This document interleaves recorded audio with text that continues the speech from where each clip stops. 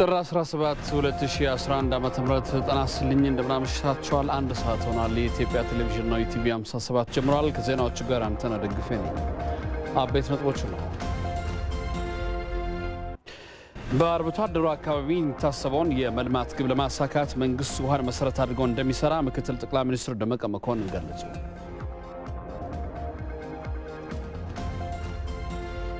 በሶማሌ ክልል ጅግጅጋና አካባቢው ከሐምሌ 28 እስከ 30 ቀን 2010 ዓ ም በተፈጠረው ወንጀል ተሳታፊ የነበሩ 46 ተጠርጣሪዎች መረጃ ማጠናቀሩን የፌዴራል አቃቤ ሕግ አስታወቀ።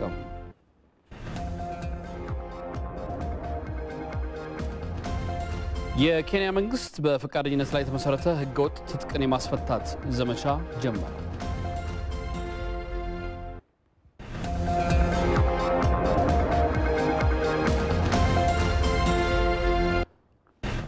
አብራችሁን ቆዩ።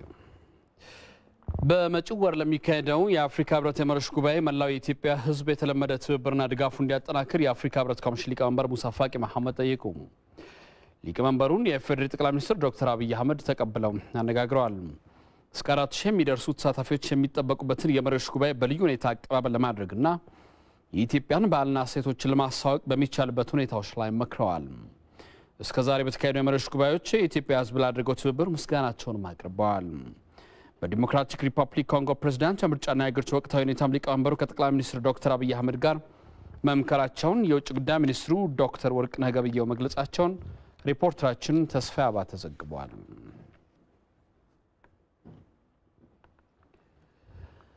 ጠቅላይ ሚኒስትር ዶክተር አብይ አህመድ በአውሮፓ ሲያካሄዱት የነበረው ጉብኝትን አጠናቀው ዛሬ ማለዳ ወደ ኢትዮጵያ ተመልሰዋል። ጠቅላይ ሚኒስትሩ በጣሊያን፣ ስዊዘርላንድ እና ቤልጅየም ያደረጉት ጉብኝት ስኬታማ እንደነበር የጠቅላይ ሚኒስትር ጽሕፈት ቤት ፕሬስ ሴክሬታሪያት ኃላፊ አቶ ንጉሱ ጥላሁን ተናግረዋል። ጉብኝቱ በሀገሪቱ እየተካሄደ ያለውን ለውጥ ለዓለም አቀፉ ማህበረሰብ ማስታወቅና ሀገሪቱ ድጋፍ እንድታገኝ ማስቻልን ዓላማ ያደረገ ነበር ያሉት አቶ ንጉሱ ጠቅላይ ሚኒስትሩ በጣሊያን በነበራቸው ቆይታም የሀገሪቱ መንግስትና ዓለም አቀፍ ተቋማት ለውጡ እንደሚደግፉ ገልጸውላቸዋል ብለዋል። የሮማው ሊቀ ጳጳስ ፍራንሲስም በተመሳሳይ ለውጡ እንደሚደግፉ ተናግረው በቅርቡ ጉብኝት እንደሚያደርጉ ማስታወቃቸውን አቶ ንጉሱ ተናግረዋል። ጠቅላይ ሚኒስትር ዶክተር አብይ አህመድም ስዊዘርላንድ ዳቮስ በነበረው የኢኮኖሚ ፎረም ላይ ባደረጉት ንግግርም በኢትዮጵያ እየተካሄደ ባለው ለውጥ ዙሪያ ግንዛቤ መፍጠር የተቻለበት ነው ብለዋል። በዚህ economic forum ላይ ተገኘ ተብሎ ሊወሰድ የሚችለው ዋናው ውጤት የዓለም ሕዝብ በኢትዮጵያ እየተካሄደ ስላለው ለውጥ በውል እንዲገነዘብ ማድረግ ተችሏል።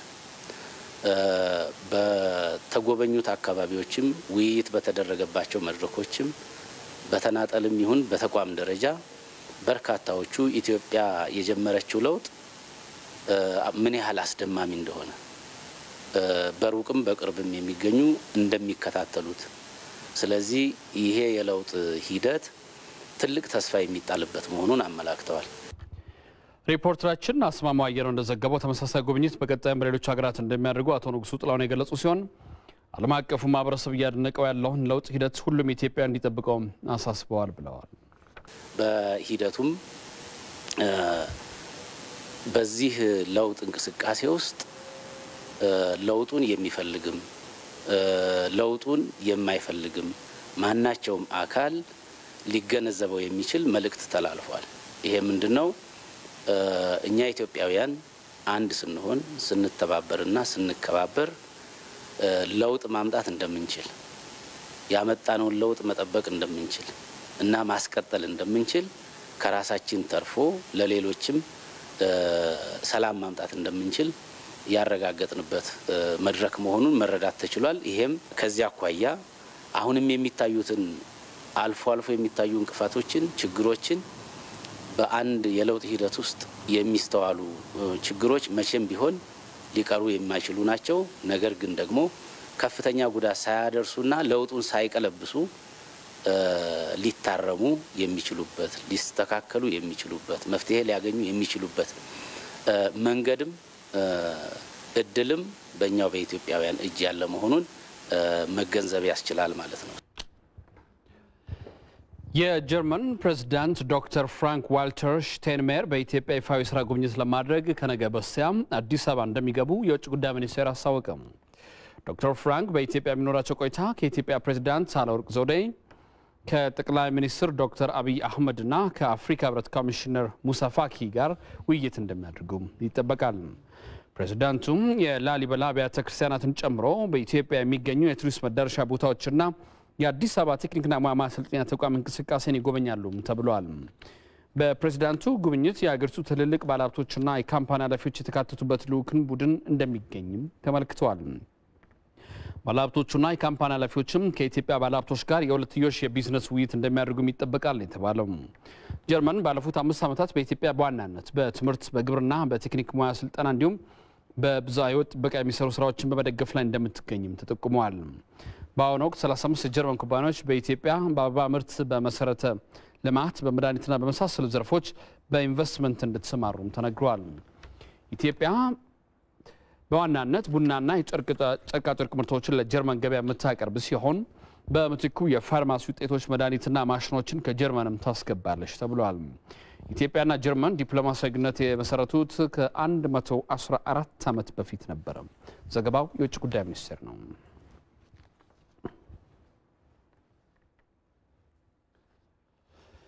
ከዚህ ቀደም ሲተገበር የነበረው የበጎ አድራጎት ድርጅቶችና ማህበራት አዋጅ አፋኝና ማህበራት ተግባራቸው በተገቢ እንዳይወጡ እንዳደረጋቸው የተለያዩ አካላት ተናገሩ። የተባለው በአዲሱ የሲቪል ማህበረሰብ ድርጅቶች አዋጅ ዙሪያ የህዝብ ተወካዮች ምክር ቤት ባዘጋጀው የህዝብ መድረክ ላይ ነው። ሰለሞን አበጋዝ ተጨማሪ አለው። በተለያዩ የማህበረሰብ ክፍሎች ቅሬታ ሲነሳበት የቆየውና አሁን በመሻሻል ላይ ያለው የበጎ አድራጎትና ማህበራት አዋጅ ቁጥር 621 እዝባር 2001 በህገ መንግስቱ የተሰጠን የመደራጀት መብትን የሚገድብናም ማህበራት በነጻነት ስራቸውን እንዳይሰሩ ያደረገ በመሆኑም በአዲስ ለመተካት ረቂቅ አዋጅ ተዘጋጅቷል። አዲሱ የሲቪል ማህበረሰብ ድርጅቶች ረቂቅ አዋጅ ከሁለት ሳምንት በፊት በ18ኛው የህዝብ ተወካዮች ምክር ቤት ውይይት ተደርጎበት ለምክር ቤቱ የህግ ፍትህና ዲሞክራሲ ጉዳዮች ቋሚ ኮሚቴ ለዝርዝር እይታ መመራቱ ይታወሳል። በዚህም መሰረት ቋሚ ኮሚቴው በረቂቅ አዋጁ ላይ የህዝብ መድረክ አዘጋጅቶም የሚመለከታቸው አካላት አስተያየት ሰጥተውበታል። የሙያ ማህበራት ቀደም ባለው አሰራር መስራት ወይም ማገልገል የሚገባን የአባላትን መብትና ጥቅም ማስከበር ብቻ ነው ይል ነበር። ይሄ እኔ ብዙ ጊዜ ሲያመኝ ሲቆጠቁጠኝ የኖረ ነገር ነው። አፋኝ ጨቋኝ የነበረ ህግ ነው። ገዳቢ የነበረ ህግ ነው። civil society organizations ለሀገር እድገት መጫወት የሚገባቸውን ሚና ሳይጫወቱ ቀርተዋል። በሚጠበቅባቸው ደረጃ ለሀገር እድገት መጫወት ያለባቸውን ሚና ሳይጫወቱ ቀርተዋል። ብዙዎች ቀጭጨዋል። እስከነጨራሹም ደግሞ disappear ያደረጉ የጠፉ civil society organizations አሉ። ረቂቅ አዋጁ ላይ ትኩረት ሊሰጥባቸው ያሏቸውንም አስተያየቶች ተሳታፊዎች ሰንዝረዋል። ይህ ቦርድ አሁን ለተያዘው በአዋጁ ላሉት መንፈሶች ሊቆም ከሆነ በይዘትም በቁጥርም ለውጥ ይፈልጋል። አሁን የቀረበው ሰባት አባላት የያዘ ነው።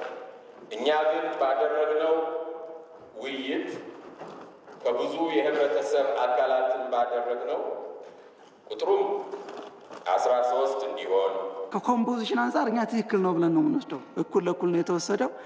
ቁጥሩ ግን እንዳይበዛ የተደረገው ቅድም እንዳልኳቸው manage ለማድረግም ስብሰባዎችን ለመጥራት ምንም ለማድረግም ብዙ ጊዜ ስለሚያስቸግርና በኃላፊነትም ላይ ያሉ ሰዎች ከመሆኑ ጋር ተያይዞ ይህን ታሳቢ ተደርጎ ነው ቁጥሩ ሰባት እንዲሆን የተደረገው። international ድርጅቶች ወይም የውጭ ድርጅቶች በአገር አቀፍ ድርጅቶችን መደገፍ ላይ focus አድርገው ቢሰሩ ፕሮጀክት ስራ ላይ ባይሳተፉ የሚል ሀሳብ አለን።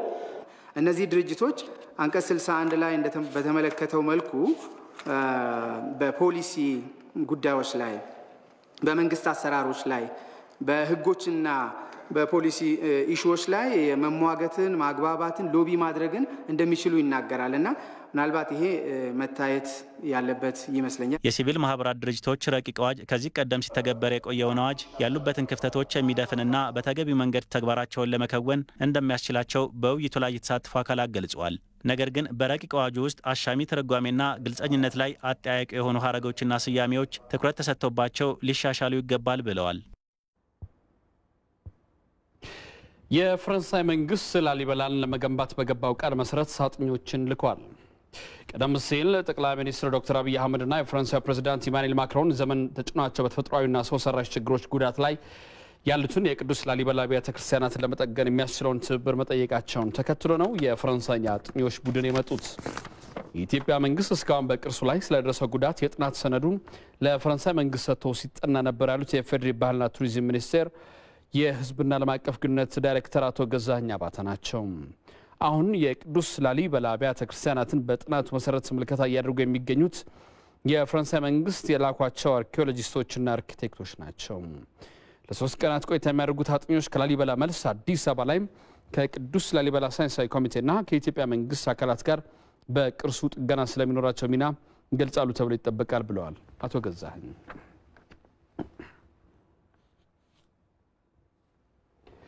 በዚህ ጉዳይ ላይ ተጨማሪ ማብራሪያ ሊሰጡን የባህልና ቱሪዝም ሚኒስቴር ሚኒስትር ዶክተር ሂሩት ካሳው እዚህ ስቱዲዮ ድረስ ተገኝተውልናል። ከእሳቸው ጋር ቆይታ አደርጋለሁ። ዶክተር በጣም አመሰግናለሁ። ቅርሶች እንግዲህ በዩኔስኮ መመዝገባቸው ፋይዳቸው ምንድን ነው ከሚለው እንጀምር እስቲ። እንግዲህ አንደኛ የሰው ልጅ ተወካይ የሰው ልጅን የሚወክል ቅርስ ነው፣ ጥበብ ነው። ይሄ ጥበብ ለዓለም የዓለም ሀብትም ሆኖ ሲመዘገብ ሁለት ጥቅም አለው። አንደኛ ጥበቃው የተጠናከረ ጥበቃ ይደረግለታል። ሁሉም ሁሉም ያገባኛል፣ ሁሉም የኔ ሀብት ነው፣ እኔን ይገልጸኛል ብሎ ስለሚያምን የተጠናከረ የጥበቃ የእንክብካቤ ችግር ሲገጥመውም የጥገና ስራ ይሰራለታል።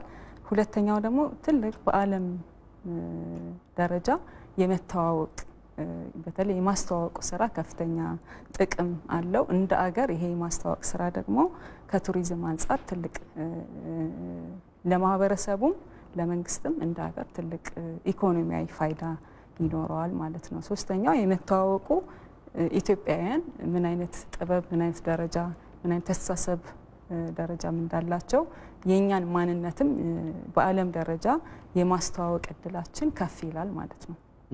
ምናልባት በዚህ በዩኔስኮ የሚመዘገቡ ቅርሶች ችግር ወይም ጉዳት በሚያጋጥማቸው ጊዜ ልክ እንደ ላሊበላ በተፈጥሮ ይሁን በሰው ሰራሽ ወይም በእድሜ ብዛት የመፍረስ እና እንደዚህ አይነት አደጋ ሲጋረጥባቸው የዩኔስኮ ድርሻ ምንድን ነው? ዩኔስኮ እንግዲህ ችግር ሲገጥመው አንደኛ በጥናቱ ጥናት እንዲጠና ያደርጋል። መጀመሪያ የእንክብካቤው ስራም ላይ የመጠበቅ፣ የመቆጣጠር፣ የመከታተል ስራ ይሰራል። ሁለተኛ ችግር በሚገጥምበት ጊዜ ከጥናት እስከ ጥገና ድረስ ገንዘብ በማፈላለግም ጭምር ማለት ነው።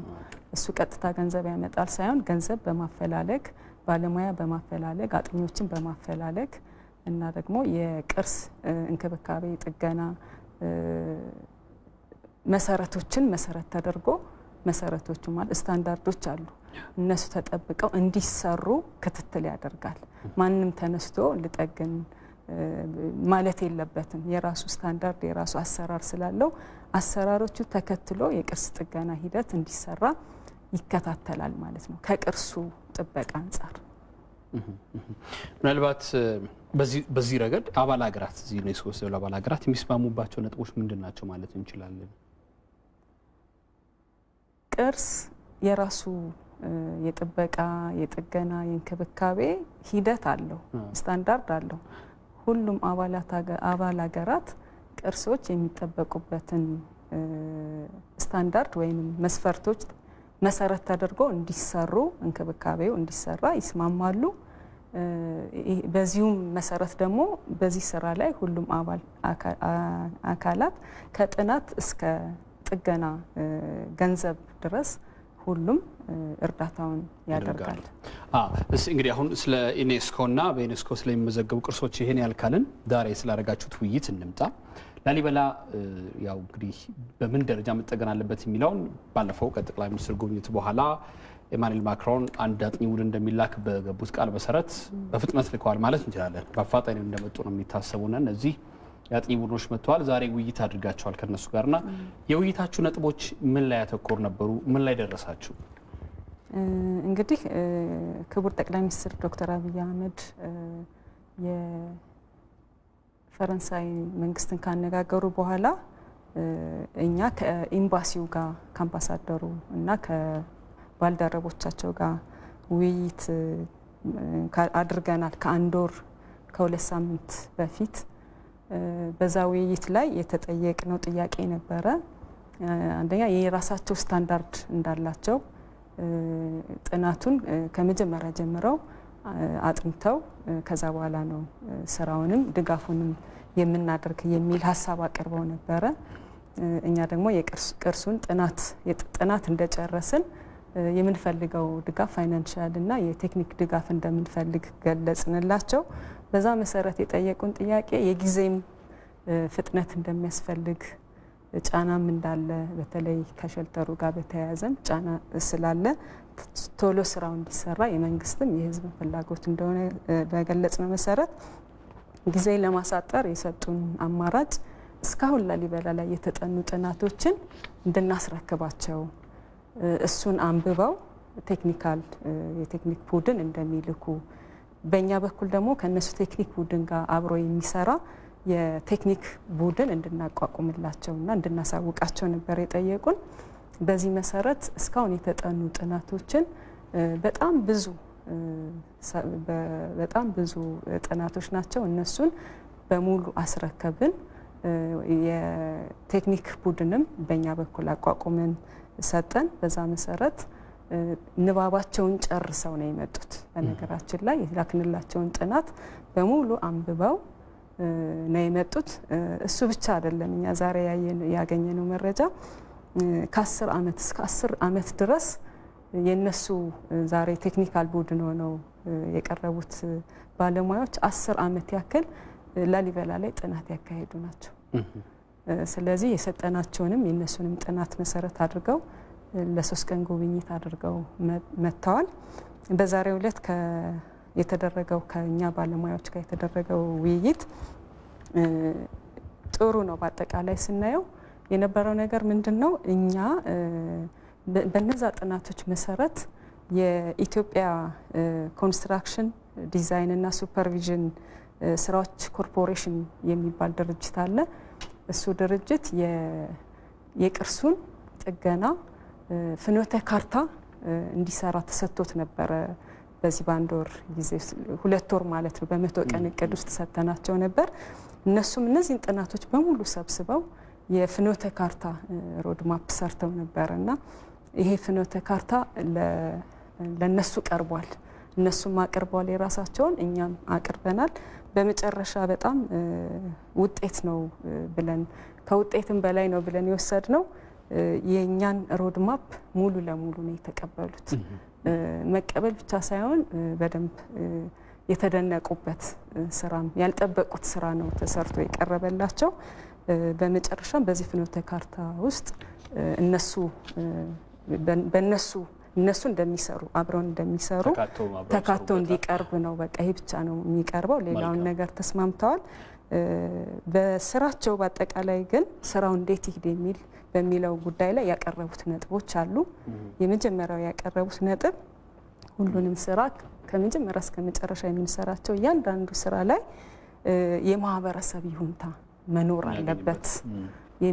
የማህበረሰብ ይሁንታ ሳይኖር የአካባቢው ነዋሪ፣ የቤተ ክርስቲያን ሰዎች፣ ዩኔስኮ፣ የኢትዮጵያ መንግስት ይሁንታ ሳይኖር ምንም ስራ እንደማይሰራ ስለዚህ ማህበረሰቡ እያንዳንዱ ነገር ይቀርብለታል እያሳመኑ እንደሚሰሩ ነው ያቀረቡት። ሌላው ዘላቂነት ያለው ስራ መሰራት አለበት። ዘላቂነት ያለው ስራ ለመስራት ግን የችኮላ ይሁን ይሁን የድረስ ድረስ ስራ አይሰራም። ጊዜ ያስፈልጋል። በጥንቃቄ መሰራት አለበት። ስለዚህ የምንሰራው ስራ ዘላቂ መሆን አለበት የሚል ነው። ሶስተኛው ያቀረቡት በቅንጅት ነው የሚሰራው። እያንዳንዱ ስራ ኢትዮጵያና ኢትዮጵያውያንና የፈረንሳይ ባለሙያዎች በቅንጅት ሆነው ነው የሚሰሩት የሚል ነው። በመጨረሻ አራተኛ ያቀረቡት ይሄ ፕሮጀክት ሁሉን አቀፍ ነው፣ የጥገና የስልጠና እና የአካባቢውን ልማት የያዘ ነው የሚል ነው ያቀረቡልን። እኛ በጣም ተደስተናል። ያው ካለን ሰዓት አንጻር ነው እንጂ ብዙ ሊያስወራን ይችላል ይሄ ነጥብ። በጣም አመሰግናለሁ የባህልና ቱሪዝም ሚኒስቴር ሚኒስትር ዶክተር ሂሩት ካሳው እዚህ ድረስ ስለተገኙልኝ።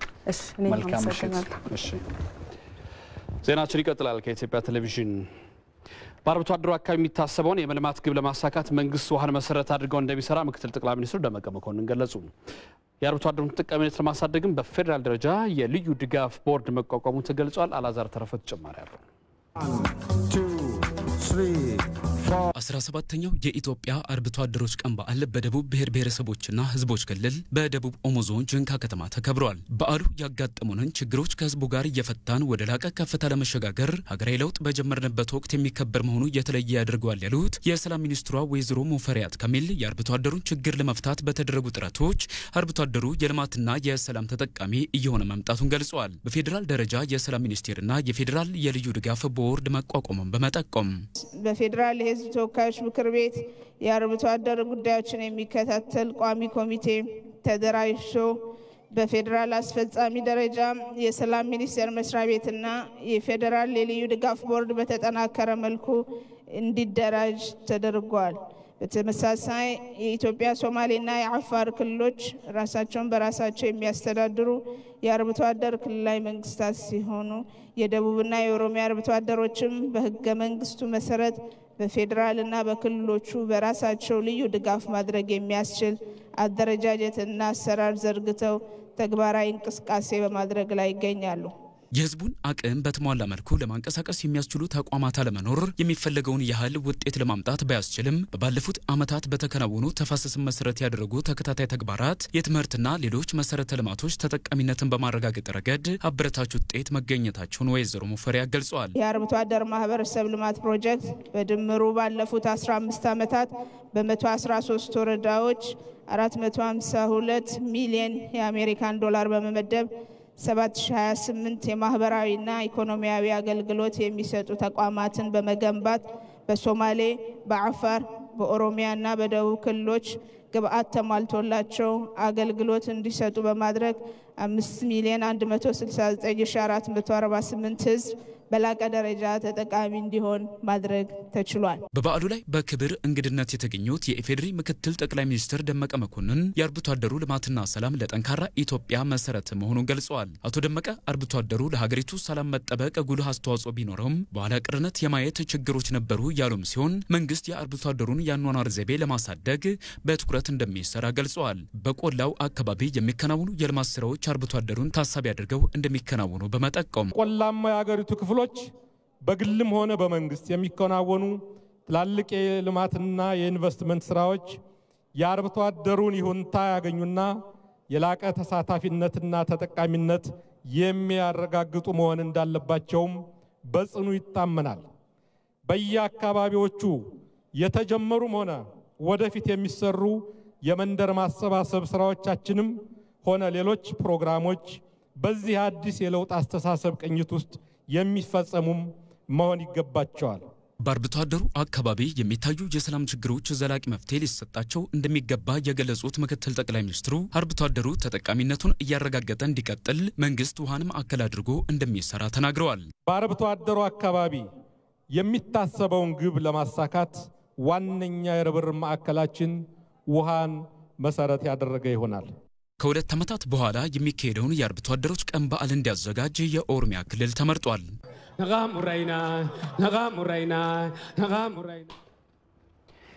በሶማሌ ክልል ጅግጅጋና አካባቢው ከሐምሌ 2830 እስከ 2010 ዓ ም በተፈጠረው ወንጀል ተሳታፊ የነበሩ 46 ተጠርጣሪዎች መረጃ ማጠናቀሩን የፌዴራል አቃቤ ሕግ አስታወቀ። ብሔር መሰረት ባደረገ ወንጀል የክልሉ ከፍተኛ ኃላፊዎች የተሳተፉበት ሲሆን የጅምላ መቃብር መገኘቱንም አቃቤ ሕግ ገልጿል። ተጠርጣሪዎችን ለሕግ ለማቅረብ እየተሰራ ነው ያለው አቃቤ ሕግ ከሀገር ውጭ ያሉትን ተጠርጣሪዎች ለማምጣት እየተሰራ ነው ተብሏል። ጠቅላይ አቃቤ ሕግ በዚህ ጉዳይ ላይ የሰጠው መግለጫ ሰመረ ምሩጽ ተከታትሎታል።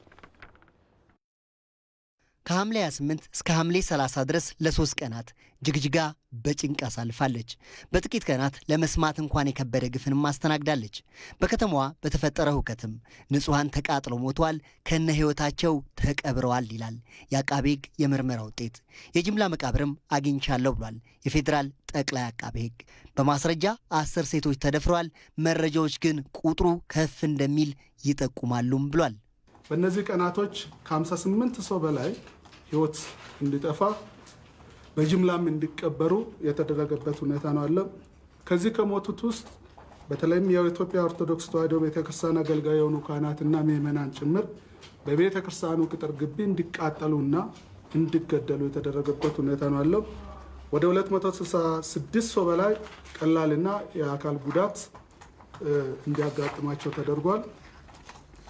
በምርመራ የለየነው አስር ሴቶችንና ሌሎች ስማቸውንና ያው ካለን ባህል አንጻር ራሳቸውን ለመግለጽ ያልፈለጉ በርካታ ሴቶች እንዲደፈሩ በሰው ልጅ ላይ ሊደረግ የማይገባ ተግባራቶች ሲፈጸሙ እንደነበረው በምርመራ ስራችን ለማረጋገጥ ተችሏል።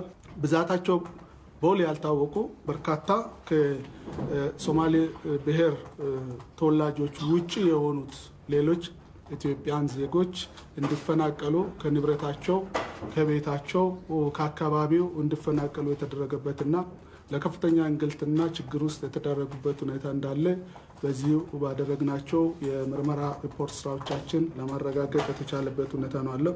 ይህ የከተማዋ ነዋሪዎች በተለይም ከሶማሌ ብሔር ተወላጆች ውጭ የሆኑ ዜጎችን ለቀናት ሰላም የነሳ ተግባር በመንግስት መዋቅር መፈጸሙም ተረጋግጧል። እንደ አቃቤ ሕግ ገለጻ በዚህ ጥፋት ውስጥ የቀድሞው ርዕሰ መስተዳድር አቶ አብዲ መሐመድ ኡመርን ጨምሮ የክልሉ ከፍተኛ ኃላፊዎችም አቀነባብረውታል፣ መርተውታልም ተብሏል። የክልሉ ልዩ ኃይል ፖሊስም በጥፋቱ ዋነኛ ተዋናይ ነበር። በከፍተኛ ኃላፊዎች የተደራጀው ሄጎ የተባለ ቡድንም ጥፋቱን በመፈጸም በኩል ከፊት ተሰልፏል። አቃቤ ሕግ ወንጀለኛ ናቸው በሚል 46 ሰዎች ተጠርጥረዋል። ከዚህ ውስጥ ግን ከስድስቱ ውጪ ሌሎች በቁጥጥር ስር መዋል አልቻሉም ብሏል። ክስ ከቀረበባቸው ከ46ቱ ስድስቱ አሁን በእስር ላይ የሚገኙ ናቸው። ሌሎቹ እስካሁን ያልተያዙበት ሁኔታ ነው አለም። ነገር ግን እነዚህ ያልተያዙት አካላት የሶስት አይነት ባህሪ ያላቸው አካላት ናቸው። አንደኛው አንዳንዶቹ ከሀገር ውጭ ኮብልሎ የወጡ ናቸው። በተለይም የክልሉ ልዩ ኃይል ፖሊስ አዛዥም ጨምሮ ከሀገር ውጭ ኮብልሎ የወጣበት ሁኔታ አለ። ነገር ግን መንግስት ባደረገው ክትትል እና ባደረጋቸው ሰፊ እንቅስቃሴ እነዚህ ጠፍቶ የሄዱት አካላት የሚገኙበት ሀገር ታውቋል። ከነዚ ሀገራቶች ጋር ውይይት እየተደረገ ነው። የተገኘው የውይይት ውጤቶች አመርቅና ውጤት ሊያመጡ የሚችል ጥሩ መግባባት እየፈጠርን ያለንበት ሁኔታ ነው ያለው። በቅርቡ ወደ ሀገራችን ለሕግ እንደሚቀርቡ ከነዚ ሀገራቶች ጋር በደንብ መተማመን ተደርሷል። ሌላ ሀገር ውስጥ ተደብቀው ያሉ አሉ። ሀገር ውስጥ የተደበቁትም ማንም ሰው ከሕግ ማምለጥ ስለማይችል ሕግ ከሁሉም በላይም ስለሆነ በሕግ ፊት እንዲቀርቡ ለማድረግ አንድ ቡድን ተደራጅቶ እነዚህን ሰዎችን ለሕግ የማቅረብ ስራ ለመስራት ስምሪት ያደረገበት ሁኔታ ነው ያለው። የተወሰኑቱ ያለመከሰስ መብት ያላቸው አሉ። እነዚህ ያለመከሰስ መብታቸው እንዲገደብ የማድረግ ስራ ከክልሉ መንግስት ጋር አሁን ካለው ክልሉ መንግስት ጋር በጋራ በትብብር እየተሰራ ያለበት ሁኔታ አለ። ይሄን አጠናቀን እነዚህም ደግሞ በሕግ የሚጠየቁበት ሁኔታ እንዲፈጠር ይደረጋል ነው ከዚህ ውጭ አሁን ይፋ የሆነው የሶስት ቀናት ሁከትን በተመለከተ የተካሄደው ምርመራ ቢሆንም ክልሉ ለዓመታት በሰብአዊ መብት ጥሰት ሲወቀስ ቆይቷል።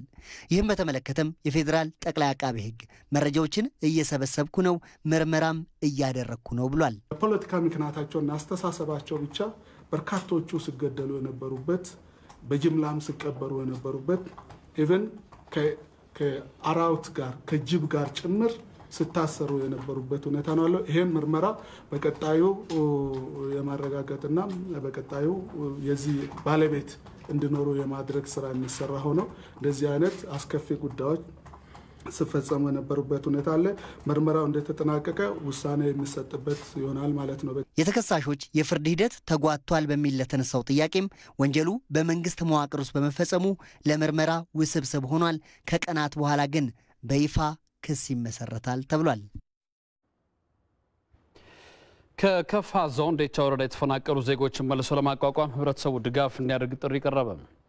የከምባታ ጠንባሮ ዞን የተለያዩ ህብረተሰብ ክፍሎች በስፍራው በዜጎች ላይ የተፈጸመውን ጥቃት በማውገዝም የስማቸውን ሐዘን ገልጸዋል። ኬኔዲ አባተ ተጨማሪ አለው።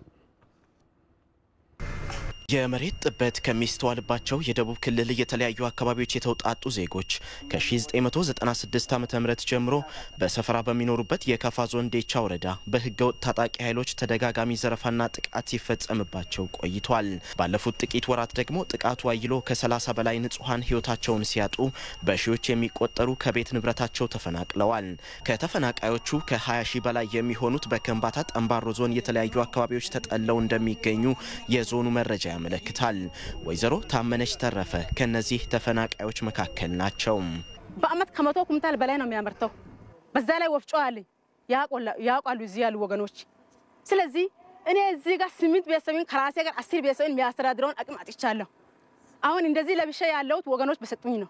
እኔ ግን ይዤ የመጣሁት ነገር ምንም የለው። የለፋሁት ላቤ ወዜ ደሜ የፈሰሰበት እዛው ቀርቷል። የከምባታ ጠንባሮ ዞን የተለያዩ የህብረተሰብ ክፍሎች ድርጊቱን በማውገዝ በሞቱና በተፈናቀሉ ዜጎች የተሰማቸውን ሀዘን በዱራሜ ስታዲየም በመሰባሰብ ገልጸዋል። የዞኑ ዋና አስተዳዳሪ ዶክተር ታከለ ነጬ ተፈናቃዮችን ለማቋቋም ለሚደረገው ጥረት ህብረተሰቡ የጀመረውን ድጋፍ አጠናክሮ እንዲቀጥል ጠይቀዋል። የተፈናቀሉ ወገኖቻችን በዘላቂነት ለማቋቋም የሚፈለገው ድጋፍ ከዚህ በላይ በመሆኑ የዞኑ ህብረተሰብና አገር ወዳድ ዜጋ በአይነትም ሆነ በገንዘብ እያደረገ ያለው ድጋፍ ተጠናክሮ እንዲቀጥል በዞኑ ህዝብ ስም ጥሬን አስተላልፋለሁ። የክልሉ መንግስት ተፈናቃዮቹ ወደ ነበሩበት ተመልሰው ደህንነታቸው ተረጋግጦ በዘላቂነት እንዲቋቋሙ የሚያስችሉ ተግባራትን በማከናወን ላይ እንደሚገኝ የክልሉ ምክር ቤት አፈ ጉባኤ ወይዘሮ ሄለን ደበበ ገልጸዋል። እዛ አካባቢ ያለው የጸጥታ ሁኔታ ተረጋግቶ ወደ ነበረባት ወደ ነበራችሁበት እንድትመለሱ ከክልሉ መንግስት ጋራ ከከፋ መንግስት ጋራ ከከፋ ዞን መስተዳድር ጋራ ዴቻ ጎባ ካሉ ህዝቦች ጋር አበርትተን እንሰራለን። ይሁንና ይህ የመንግስት ቃል ላነጋገርናቸው ተፈናቃዮች የሚዋጥላቸው አልሆነም። እስከ ሁለት ሺህ ሁለት ዓመት ጀምሮ እስከ ሁለት ሺህ አስር ድረስ ሲንጮይ ጨዋታችን ያልተሰማበት ምንም ምላሽ ያላገኝንበት ለምን ሄዳለሁ? አልሄድም። እኔ ወደዛ አልሄድም። ለነፍሴ እፈራለሁ። እኔን አንድ ጥይት እዛ ከሚገላኝ እዚህም እኮ ራብ ቢገላኝ ይሻላል። እዚሁ ሞታለሁኝ። እዛ ተመልሼ ነቨር አልሄድም። ከከምባታ ጠንባሮ ዞን የተለያዩ አካባቢዎች የተውጣጡ የዞኑ ነዋሪዎች በዱራሜ ስታዲየም ተሰባስበው በከፋ ዞን ዴቻ ወረዳ ለሞቱና ለተፈናቀሉ ወገኖች ሀዘናቸውን በገለጹበት ዝግጅት የገቢ ማሰባሰብ ስራም ተከናውኗል። ይህም ከአካባቢው የተፈናቀሉ ዜጎችን መልሶ ለማቋቋም ተግባር የሚውል ነው። ለኢቲቪ ዘገባ ኬኔዲ አባተ ዱራሜ። በድሬዳዋ ተከስቶ የነበረው አለመረጋጋት በተወሰኑ ቦታዎች ዛሬም ብዙ መሻሻል አላሳየም። የአስተዳደሩ ፖሊስ ኮሚሽን የከተማዋን ሰላም ወደ ነበረበት ለመመለስ እየሰራ መሆኑም ተገልጸዋል። በስፍራ የምትገኘው ባልደረባችን ወይንሸት ደጀኔ ሁኔታውን ልትነግረን በቀጥታ ስልክ መስመራችን ላይ ትገኛለች። ወይንሸት እንደምን አመሸሽ? እንደምን አምሽተዋል አንተነህ? እንደምን አይመስገን። እንዴት አመሸች ድሬዳዋ? አመሻሿ ምን ይመስላል? ድሬዳዋ ላይ እንግዲህ ሰሞኑን አለመረጋጋት ተከስቷል። አለመረጋጋቱን ተከትሎም የአስተዳደሩ ከንቲባ በትናንትናው ምሽት የዜና ወጃችን በስልክ ማብራሪያ መስጠታቸው የሚታወቅ ነው። ዛሬም በከተማዋ ምን ይመስላል የሚለውን ለመታዘብም በከተማዋ ጠዋት ላይም አመሻሽ ላይም ተንቀሳቅሰን ነበረ። ትናንትና ከትናንት በስቲያ የአካባቢው ወጣቶች በድንጋይ መንገድ በመዝጋትና መንገድ ላይ ጎማ በማቃጠል ተቃውሟቸውን እየገለጹ ይገኛሉ። ይህ ተቃውሞ ዛሬም ቀጥሎ አዲስ ከተማ፣ ሳቢያን፣ ገንደ ቆሬ፣ ግንፍሌና ሌሎች አካባቢዎች ላይ ቀጥሏል። በተንቀሳቀስኩባቸው አካባቢዎች እነዚህን ወጣቶች ለማነጋገር ሞክሬ ነበረ። የእነዚህ ወጣቶች ጥያቄ የአስተዳደራዊ ጥያቄ እንደሆነና ከአመራር ጋር ያሉ ጥያቄዎችን አንስተዋል። አለመረጋጋቱንም ተከትሎ የታሰሩ ወጣቶች እንዳሉ ገልጸውልናል። እነዚህ ወጣቶችም ይፈቱልን የሚል ጥያቄ ሲያቀርቡ ነበር። እነዚህ የሚቃወሙት ወጣቶች የድሬዳዋ ከተማ አስተዳደር ፖሊስ ኮሚሽን ኮሚሽነርም ጌታቸው አስረስ እንደገለጹልን የድሬዳዋ ሕዝብ ሰላም ወዳድን ፍቅር የሚወድና ማንኛውንም ዜጋ ወደ ድሬዳዋ ሲመጣ በፍቅር የሚቀበል ዜጋ መሆኑን ገልጸውልን የተፈጠረውን አለመረጋጋት ዛሬ ለመቆጣጠር የተለያዩ ጥረቶችን እያደረጉ እንደሆነም ገልጸውልን የትኛውም የህብረተሰብ ክፍል ደግሞ ጥያቄ ሲያቀርብ በሰላማዊ መንገድ ሊሆን እንደሚገባም አሳስበዋል። አመሻሽ ላይ እንግዲህ ድሬዳዋን ከተማን ለመቃኘት ሞክረን ነበረ። ከሰዓት በኋላ ላይ ባንኮች፣ ሱቆች እና ለማህበረሰቡ የተለያዩ አገልግሎቶች የሚሰጡ ተቋማት በከፊል ዝግ ናቸው። የትራንስፖርት አገልግሎቶችም በከፊል እንደቆሙ ነው የተመለከትነው። እንግዲህ ሌሎች መረጃዎችን ደግሞ ለተመልካቾቻችን የምናደርስ ይሆናል። አንተ ነው። እሺ፣ አመሰግናለሁ። ሊሸት ደጀና ከድሬዳዋ ላደረስን መረጃ። በድሬዳዋ ከተማ የተፈጠረውን አመፅ ተከትሎ ከምስራቅ እዝ ጠቅላይ መምሪያ መግለጫ ተሰጥቷል። እንደ መግለጫው እስካሁን ድረስ የድሬዳዋ ህዝብ በመተጋገዝና በፍቅር የሚኖር ህዝብ መሆኑም ይታወቃል። ይሁን እንጂ በመልካም አስተዳደር ጉድለት ሰበብ የህዝቡ ሰላማዊ ኑሮ እየታወከ ይገኛል። የመልካም አስተዳደር ጉድለት የሚፈታው በአመፅና በነውጥ ሳይሆን በውይይት መሆኑ ሊታመን ይገባል። ሁከትን በመፍጠርና ጸጥታን በማደፍረስ የተሰማራችሁ ወገኖች በህዝቡ ላይ ለተፈጠረው ችግር ይቅርታ ጠይቃችሁ በየመንገዱ ላይ የዘጋችሁትን ድንጋይ በመልቀምና በማንሳት የተዘጉትን መንገዶችን ክፍት እንድታደርጉ እናሳስባለን። ያላችሁን ችግር ለከተማው መስተዳድርና ከበላይ አካላት ጋር በመወያየት የሚፈታ መሆኑን አውቃችሁ የትኛውን ብጥብጥና ሁከት እንዳይፈጠር እያሳሰብን፣ ይህ ባይሆን ግን ሁከትና ነውጡ ለመቀጠልና ለማባባስ በሚፈልጉ አካላት ላይ ጸጥታን ለማስከበርና የህግ የበላይነትን መከበር ሲባል አስፈላጊውን ህጋዊ እርምጃ የምንወስድ መሆኑን የምስራቅ እዝ ጠቅላይ መምሪያ መግለጫ በሰጠው ሙሉ መግለጫ አስታውቋል። ወደ ውጭ ዜና አልፋለሁ። የኬንያ መንግስት በፈቃደኝነት ላይ የተመሰረተ ህገወጥ ትጥቅን የማስፈታት ዘመቻ ጀመረም። የትጥቅ ማስፈታት ዘመቻ በማህበረሰብ ተቋማት አማካኝነት ነው የሚካሄደው። በኬንያ በህገወጥ መሳሪያ ምክንያት በሁለት ዓመት ውስጥ ከ800 በላይ ሰዎች ሞተዋል። ዳንኤል ብዙአየሁ ተጨማሪ አለው። ጁልየስ ኪማንዴ የአመፅ ህይወት በኬንያ ተገቢ ባልሆነ መንገድ በተሰሩ መንደሮች የሚያሳድረውን ተጽዕኖ ያውቀዋል። ተወልዶ ባደገባት መንደር ውስጥም ወንጀልን በሚፈጽሙ ቡድኖች ውስጥ ገብቶ ነበር። ኪማንዴ መንግስት ህገወጥ መሳሪያ የሚያለዋውጡ ሰዎችን ከማህበረሰብ ተቋማት ጋር ተባብሮ በመደገፍ ህይወቱን እንዳተረፈው ይናገራል። ህገወጥ መሳሪያ ይዘህ ወደ ፖሊስ ጣቢያ ከሄድክ በቀላሉ መመለስ አትችልም። ህዝቡ ያለው አመለካከትም የመንግስትን ተቋም ሙሉ በሙሉ ማመን የሚያስችል አይደለም። ስለዚህ የማህበረሰብ ተቋማቱ ጥሩ ሚና ተወጥቷል። ህገወጥ የጦር መሳሪያዎችን የመመለሱ ስራ በታህሳስ አጋማሽ የተጀመረ ፕሮግራም ሲሆን ለሶስት ወራት እንደሚቆይ ተገልጿል። ፈቃድ የሌለው መሳሪያ ያላቸው ሰዎች ወደ ፖሊስ ተቋም መሳሪያውን ይዘን ከሄድን እንታሰራለን ብለው ስለሚያስቡ በአካባቢው በሚገኝ ማስረከቢያ ማዕከል ወይም ለሃይማኖት አባቶች መመለስ ይመርጣሉ። ስለዚህ ይህን ችግር ለመቅረፍ የኬንያ መንግስት በየአካባቢው የመሳሪያ ማስረከቢያ ማዕከሎችን ማቋቋሙን ዳን አሳኖ የተባሉ የአንዱ ማዕከል ኃላፊ ገልጸዋል። ዓላማው መስመር ለመፍጠር ነው። መንግስት ህገወጥ ትጥቅን ማስፈታት ይፈልጋል። ተግባሩ ኃይል በመጠቀም አይደለም የሚከናወነው፣ በፈቃዳቸው የሚያስረክቡበት መስመር ፈጥረናል። በፈረንጆቹ 2012 የተደረገ አንድ ጥናት ከ500 ሺህ በላይ ህገወጥ መሳሪያ በኬንያ ተሰራጭቶ እንደሚገኝ ያሳያል። ይህ ደግሞ ህገወጥ ሰፈራ በተካሄደባቸው አካባቢዎች ተባብሶ ይታያል። ህገወጥ መንደሮቹ በፕላን ያልተሰሩ በመሆናቸው ይህንን ህገወጥ የመሳሪያ ዝውውር ለመግታት አስቸጋሪ ሆኗል። በእነዚህ መንደሮች በፈረንጆቹ ከ2013 እስከ 2015 እንኳን ከ803 በላይ ሰዎች በህገወጥ የጦር መሳሪያ በኬንያ ተገድለዋል። ስለዚህ ይህንን ችግር ለመፍታትና ከህብረተሰቡ ጋር ለመስራት መንግስት ትጥቅ የማስፈታት ዘመቻውን መጀመሩን የመንግስት ቃል አቀባይ ኤሪክ ክራይዞ ገልጸዋል።